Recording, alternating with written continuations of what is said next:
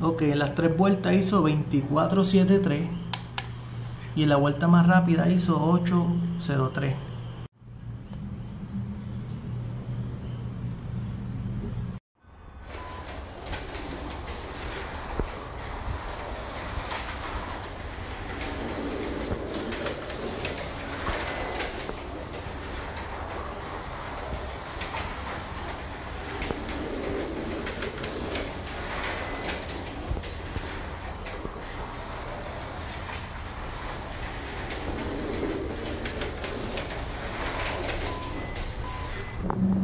tres vueltas en 25.36 y la vuelta más rápida fue en 7.90